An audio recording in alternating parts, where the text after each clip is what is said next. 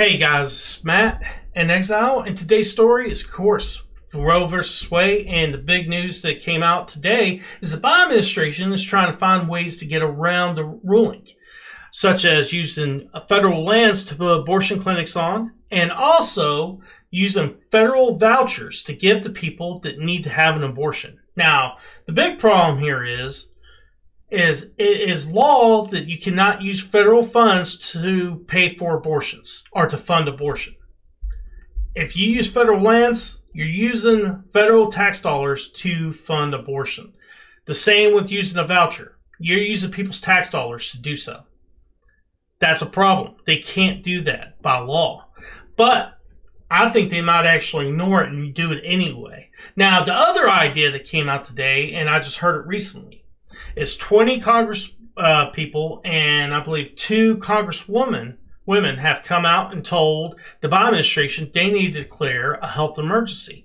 If they declare a health emergency, then they can use executive powers to enact Roe versus Wade nationwide. That's the idea of it. Uh, that doesn't mean that executive order can't be challenged by the Supreme Court, which it could be. And obviously, the Supreme Court would say, hey, you can't do that. And I hear the, this idea. My first thought was like, okay, they're calling us fascist, and yet you want to use executive power in order to overrule a court. That's fascism.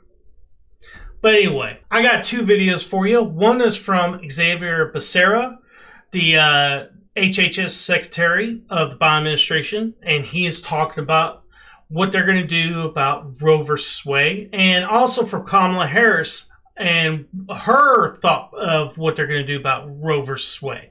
What are you doing concretely in response to the court's decision to try to help women? Well, we're working with uh, centers like Planned Parenthood, so we are uh, restoring funding for Title X, uh, family planning services. We are working with uh, uh, supporters on the ground to make sure that we are providing services to women where we can. Uh, we are looking into everything, including assisting in transportation, something that HHS doesn't typically do. Can you do that legally? Uh, talk to me later. Uh, I mean, that's do, a big question, right? I, I, always tell my team at HHS, uh, if you've done your homework, then we have no right to do mild. And so we're going to be aggressive and go all the way. And I, I would tell you if uh, you're recording, so I won't tell you. So uh, this is all on the record, yeah. Mr. Secretary. We are looking at every option, and among those is transportation. What, say that again. We are looking at every option, and among those is transportation. Transporting women to other states.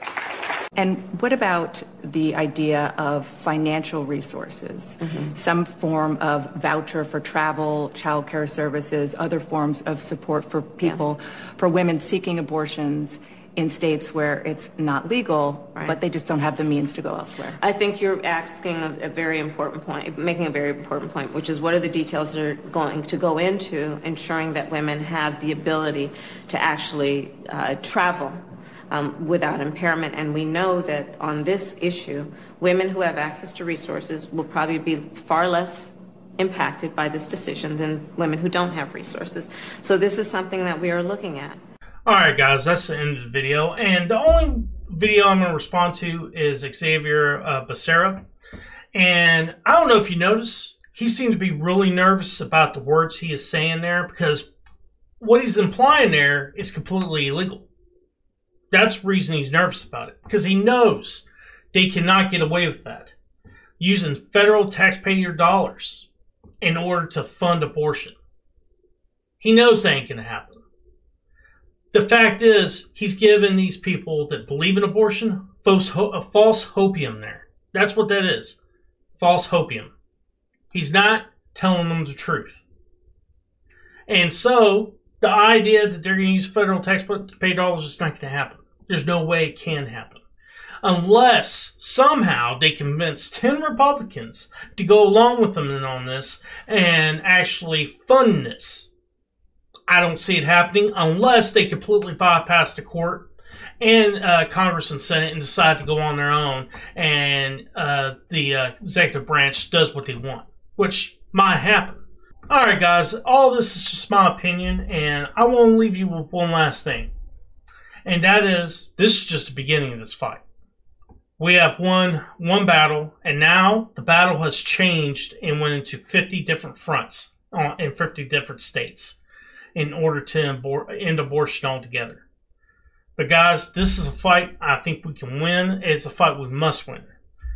And with that said, I'm going to have to end the video. I hope y'all enjoy. Please hit like and subscribe. It helps the channel grow. Peace.